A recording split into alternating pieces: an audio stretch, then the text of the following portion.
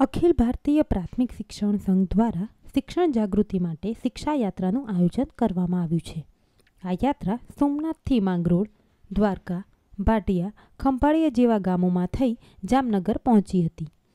જામનગર તાલુકા પ્રાથમિક શિક્ષક સંઘ દ્વારા સભાનું આયોજન કરવામાં આવ્યું હતું. સભામાં ગુજરાત બાળ કલ્યાણ મંત્રી વસુબેન ત્રિવેદી તેમજ જિલ્લા પ્રમુખ પી બી વસોયા ઉપસ્થિત રહ્યા હતા. જામનગરના માર્ગો પરની યાત્રામાં જિલ્લાભરના તેરસો જેટલા શિક્ષકો જોડાયા હતા. આ યાત્રાનું આયોજન શિક્ષણ પ્રત્યે લોકજાગૃતિ માટે કરવામાં આવ્યું છે. સોમનાથથી નીકળેલી આ યાત્રા રાજસ્થાન થઈ દિલ્હી જશે. શિક્ષણની લોકો જરૂરિયાત સમજે અને શૈક્ષણિક દર વધે તે માટે થઈ રહેલા પ્રયાસોનો આ એક ભાગ છે. Bureau report, news online, Jamnagar.